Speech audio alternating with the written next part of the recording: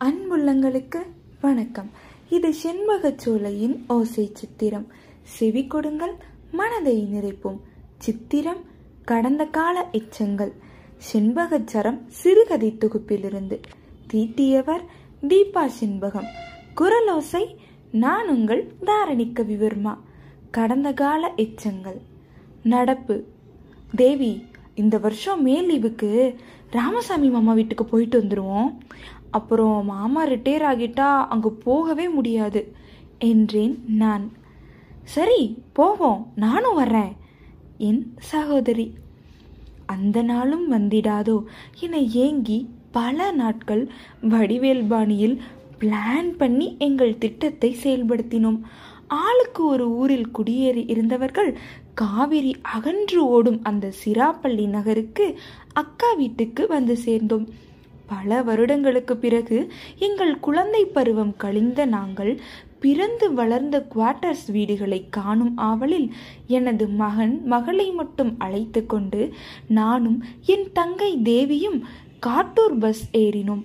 அந்த பேருந்தே ஏதோ ஒரு விட்டக்குறை தொட்டக்குறை சொந்தம் போல் எங்களை நலம் விசாரிப்பது போல் தோன்றியது. இருபத்தி ஐந்து கிலோமீட்டர் தொலைவில் இருக்கும் எங்கள் பிறந்த இடத்தின் சொர்க்கத்துக்குள் காலடி எடுத்து வைக்கும் முன் அவ்விடத்தின் இனிமை நினைவுகளை அக்காலும் தங்கையுமாய் அசை போட்டபடி பயணித்தோம். அது ஒரு சர்க்கரை ஆலை. அதனுள் அமைந்த குடியிருப்பு பகுதியில்தான் எங்களின் பாலப்பருவ சொர்க்கம் இருந்தது. வளரும் போதே பொருளாதார ஏற்றத்தாழ்வை ஒரு வேலி உணர வைத்தது. ஆம் குடியிருப்பை அதிகாரிகள் தொழிலாளர்கள் என்ற பாகுபாடு செய்வித்து இரண்டாக பிரித்திருந்தார்கள். இன்று நினைக்கும்போது ஆபீசர்களின் குடியிருப்பு ஒற்றை படுக்கையறை அல்லது இரண்டு படுக்கையறை கொண்டதாக இருந்திருக்கும் அவ்வளவே. ஆனால் அன்றைய தினத்தில் அங்கு வசிக்கும் மக்களை ஏதோ பிரிட்டிஷ் சாம்ராஜ்ய அதிகாரிகள் போல் எண்ண வைத்தது. காலனி பகுதியில் ஒரு பல்பொருள் அங்காடி காய்கறி கடை ஒரு கிளினிக் இவையாவும் வரிசையாக இருந்தது. குடியிருப்பு வீடுகள் மைதானம் கிளப் ஒரு ஸ்கூல் ஃபேக்டரி சர்க்கரை விநாயகர் கோவில் எல்லாம் சிறு பிள்ளையில் நான் பெரிதாக நினைத்த ஒரு சிறிய உலகம். பஸ் ஸ்டாப்பில் இறங்கியவுடன் ஒரு பெரிய கேட் இருக்கும். பால்குனி ஆறு என காவியத்தில் வர்ணிக்கப்படும் புண்ணிய நதி. தற்போது அது பங்குனி வாய்க்கால் என்ற பெயரோடு சிறு ஓடையாக இருபது அடி அகலத்தில் அந்த கேட்டுக்கு முன்னே ஓடுகிறது. எங்கள் வீட்டுக்கு வரும் உறவினர்களை அங்கு வரை வந்து பேருந்தில் வழியனுப்பி வைத்துவிட்டு செல்வதுதான் வழக்கம். அந்த நேரம் இந்த வாய்க்காலுக்கு மேலே பாவிய பாலத்தின் தடுப்புச் சுவர் கட்டையில் அமர்ந்து அதன் நீரோட்டத்தை வேடிக்கை பார்ப்பது எங்கள் தனியாத ஆசையில் ஒன்று. அந்த பிரசித்தி பெற்ற வாய்க்காலை தாண்டிய கேட்டில் நேபாளி கூர்க்காக்கள் காவல் காத்து அமர்ந்திருப்பார்கள். நல்ல சிவந்த நிறமும் ஈடுதாடான உடல்வாகும் காக்கி சட்டையில் போலீஸ்காரர்களுக்கு சவால் விடும் மிடுக்கோடு நின்றிருப்பர். அவர்களை பார்க்கும்போதே ஒரு பயம் வரும். புதிதாக வரும் யாரையும் யார் எவர் யார் வீட்டுக்கு என விசாரித்த பின்பே உள்ளே செல்ல அனுமதி கிடைக்கும். எங்கள் வீட்டுக்கு விருந்தாளிகள் வந்தால் அவர்கள் எங்கள் வீட்டுக்கு வரும் முன் எங்கள் அப்பாவுக்கு போனில் தகவல் சென்றுவிடும். ஒவ்வொரு முறையும் என் பெரியப்பா சித்தப்பா வரும்போது வாட்ச்மேன் அவர்களை கேள்வி கேட்காமல் உள்ளே விடுவார். தெரியும் சார் பாலு சார் அண்ணன் தானே? என சரியாக அடையாளம் கண்டு கேட்காமல் அனுப்புவார். எப்படிடா அவன் கரெக்டா சொல்லிடுறான்? என ஒவ்வொரு முறையும் என் பெரியப்பா ஆச்சரியமாக கேட்பார். இதில் சிறப்பு என்னவென்றால் ஆறு மாத குழந்தை கூட அசப்பில் ஒரே மாதிரி இருக்கும். இவர்களில் ஒருவரோ என குழப்பம் கொண்டும் ஏமாறும். இவர்கள் உருவ பொருத்தம் அப்படி. அந்த பெருமையை தான் பெரியப்பா அப்படி சிலாகித்துக் கொள்வார். அந்த மரபுபடி எங்களுக்கே ஒரு அறிமுகம் தேவைப்படுகிறதே என மனது கனத்தாலும் இருபது வருடம் சும்மாவா? என மனதை தேற்றிக்கொண்டு நாங்களும் மாமாவின் பெயர் சொல்லி உள்ளே சென்றோம்.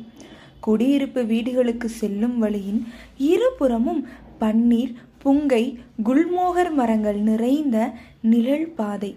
வலதுபுறம் ஃபேக்டரியின் கழிவுநீர் சுத்திகரித்து செல்லும் நீர் பீச்சிகள் வெதுவெதுப்பான நீரை பீச்சிக் கொண்டு இருக்கும். இடதுபுறம் வாய்க்காலை ஒட்டிய பகுதி மரங்கள் நிறைந்து இருக்கும். கழிவுநீர் சுத்திகரிப்பு செய்யப்பட்டு வாய்க்காலில் பாயும். அந்த பாதையில் சென்றால் நேரே ஒரு பாதையும் வலதுபுறம் ஒரு பாதையும் பிரியும். வலது பிரியும் பாதையில் பத்தடி தூரத்தில் ஒரு மைதானம் வரும். அதன் பிறகு செடிக்கு பாத்தி கட்டியது போல் வரிசைக்கு பத்து என்ன நாற்பது வீடுகளும் பக்கவாட்டில் இரண்டு வரிசை இருபது வீடுகளும் இருக்கும். இந்த வீடுகள் மூன்று பகுதிகளாக பிரிக்கப்பட்ட வரிசை வீடுகள். நினைவுகள்.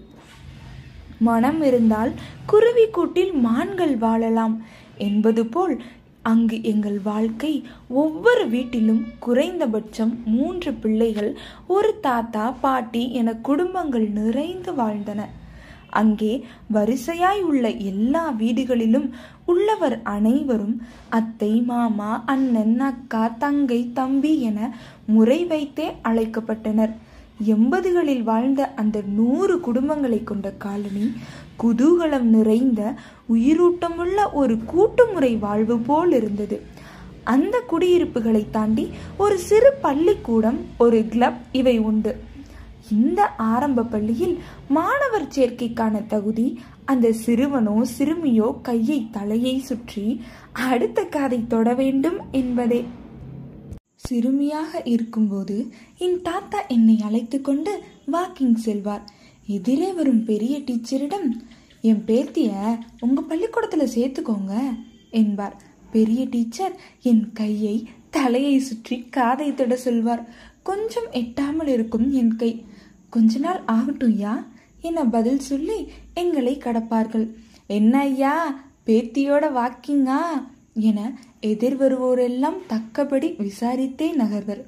வீட்டில் இருக்கும் என் அப்பாயிடம் பள்ளிக்கு கிளம்பும் முன் தலைவார எனக்கும் பக்கத்து வீட்டு ராஜி அக்காவுக்கும் எப்போதும் போட்டி நடக்கும். பூனைக்குட்டி போல் குடும்பி வைத்துள்ள நான் ஜடையை மடித்து கட்டினாலே இடுப்பு வரை தொங்கும் அந்த அக்காளிடம் போட்டி போடுவேன். காய் நறுக்கி கொண்டோ மோர் கடைந்து கொண்டோ உட்கார்ந்திருக்கும் என் அப்பாயிடம் அம்மா என்ன செய்றீங்க? என்ற விசாரிப்போடு உரையாடல் நடந்து கொண்டிருக்கும். பார்ப்பவர் பாசமாய் விசாரிக்கும் இந்த விசாரிப்புக்கு தான் இன்றைய பெரியவர்கள் ஏங்குகின்றனர். என்பது இப்போது புரிகிறது. ஒரு டம்ளர் சீனி வேணி அம்மாட்ட வாங்கியது திருப்பி கொடுத்துட்டு வா என அம்மா ஓசி வாங்கியதை திருப்பி தரச் சொல்லி அனுப்புவதும் சாப்பிடும்போது வெஞ்சனமாக வைத்த காய் பிடிக்கவில்லை எனில் குமாரத்தை விட்டு ஊறுகாய் தேடி ஓடுவதும் எங்கள் வழக்கம். அம்மா பிழிந்து வடகத்தை காக்கா கொத்தாமல் பாதுகாப்பது எங்கள் பொழுதுபோக்கில் சேர்த்தி. காக்கைக்கு பதில் நாங்கள் கொத்துவோம் அது வேற கதை. மாலை ஐந்து மணி சங்கு ஊதும்போது சரியாக எங்கிருந்தாலும் எங்கள் அப்பா வரும் நேரம் வீட்டில் ஆஜராகி விடுவோம். மதியம் சாப்பாடு அப்பா தாத்தாவுடன் சேர்ந்து தரையில் அமர்ந்தே சாப்பிடுவோம். சாப்பிட்டு முடித்தவுடன் என் அப்பா இருபது நிமிட ஓய்வில் ஒரு குட்டி தூக்கம் போடுவார்கள். அப்போது அப்பா கால் மிதித்து விடுவது என்னுடைய தலையாய கடமை. மாலை நேரங்களிலும் விடுமுறை நாட்களிலும் சுதந்திரம் எங்கள் பிறப்புரிமை என்பது போல் வெயில் வீணாக போகாமல் காலனி முழுவதும் சுற்றி திரிவோம்.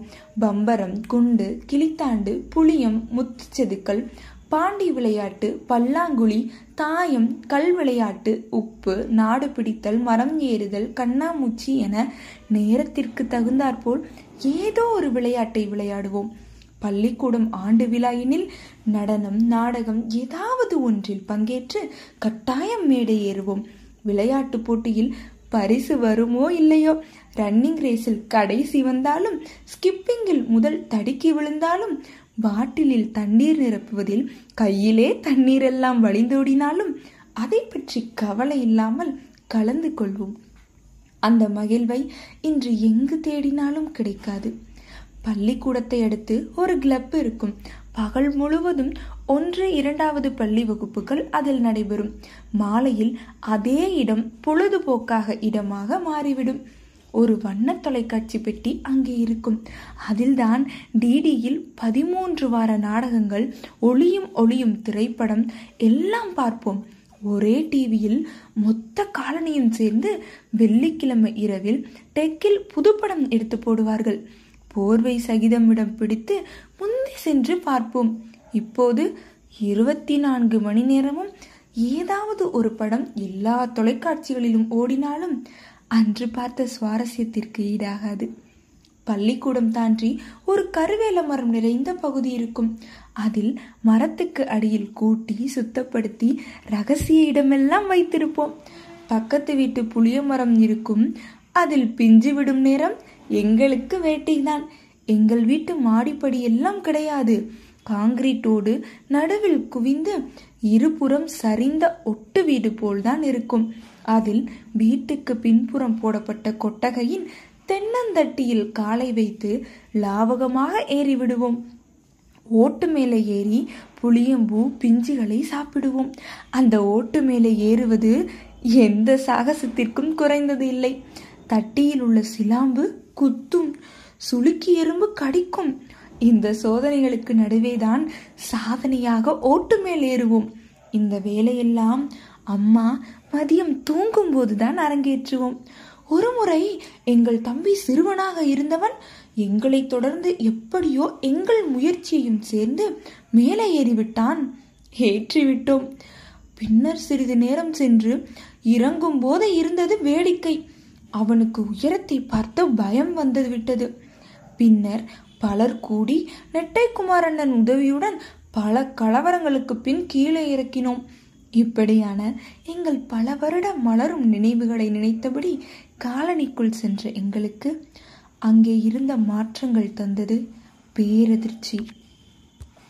இப்போது உள்ளது போல் ஆண்ட்ராய்டு போன்கள் அந்த சமயம் புழக்கத்தில் இல்லை. எனவே ஒரு டிஜிட்டல் கேமராவை எடுத்துக்கொண்டு எங்கள் நினைவுகளை பதிவு செய்து கொள்ள சென்றோம். நான் சொன்ன அந்த மைதானம் இப்போது உருமாறி யூகலிப்டஸ் காடாக இருந்தது.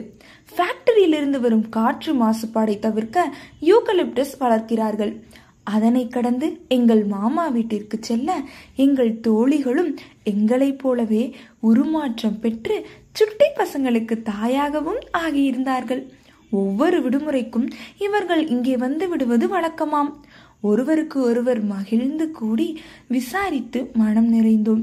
எல்லாமே மாறிருச்சுடி என என் தோழி சொல்ல அதன்பின் உண்டு முடித்து எங்கள் பழைய பெரும் உலகத்தை வளம் வர ஆரம்பித்தோம்.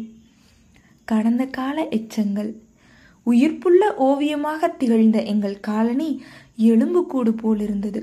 எங்கே வீட்டுக்கு வீடு குழந்தைகளும் கும்மாளமும் நிறைந்து இருந்ததோ அவை வெறுமைப்பட்டு வெறிச்சோடி இருந்தனர். நாங்கள் சுதந்திரமாய் சுற்றிய இடங்கள் பல கம்பி வேலிகளுக்குள் அபாயகரமான கட்டுமானமாகி சிறை இருந்தன. ஆட்கள் நிறைந்த வசிப்பிடம் ஆளரவமற்ற இடமாக இருந்தது. சில வீடுகளில் வேற்றுமொழி கான்ட்ராக்ட் வேலையாட்கள் முரட்டு சிங்களாக தங்கியிருந்தனர். எது வந்தாலும் நாங்கள் இருக்கிறோம் என்ற நடுத்தர வர்க்கம் சுற்றம் இல்லை. மேல்தட்டு படாடோபம் நிறைந்த ஆபீசர்கள் குடும்பம் இல்லை. ஊரையே சுற்றி காவல் செய்த நேபாளி கூர்காக்கள் இல்லை. எங்கிருந்தோ குறைந்தபட்ச கூலிக்கு ஆட்களை கொணர்ந்து ஆலையை நடத்தி கொண்டிருக்கிறார்கள். ஒரு இருபது வருட இடைவெளியில் இப்படி இங்கே வசித்த குடும்பங்கள் இதனிலிருந்து பணி ஓய்வு வேலை இழப்பு சுற்றுச்சூழல் மாசு ஒவ்வாமை என ஏதோ ஒரு காரணத்திற்காக இவ்விடம் விட்டு குடிபெயர்ந்திருக்க எஞ்சிய ஓரிரு குடும்பங்கள் மட்டுமே அங்கிருந்தன. நாங்கள் வசித்த வீடு எங்கள் பள்ளி இந்த மரம் அந்த செடி என ஏதோ சிலவற்றோடு டிஜிட்டல் கேமராவில் பதிவு செய்து கொண்டு மாற்றங்களுடன் உருக்குலைந்த எங்கள் காலனியை பிரிந்து அடுத்த நாள் கனத்த மனதோடு கிளம்பினோம். கேமராவில் பதிந்த பிம்பங்களை கணினியில் மாற்றி சேமிக்கும் நேரம் ஏதோ பிழை காரணமாக நாங்கள் எடுத்த நிழல் படங்கள் அழிந்து போயின. கடந்த காலத்தின் இந்த எச்சங்கள் எங்கள் மலரும் நினைவுகளாக குழந்தை பருவ உயிரோவியத்தை சிதைக்காமல் இருக்கவே கணினி பிழை செய்தது போலும். சித்திரம் உங்களுக்கு பிடித்திருந்தால் சின்பக சோலை ஓசை சித்திரம் என்ற யூடியூப் சேனலை ஷேர் லைக் கமெண்ட்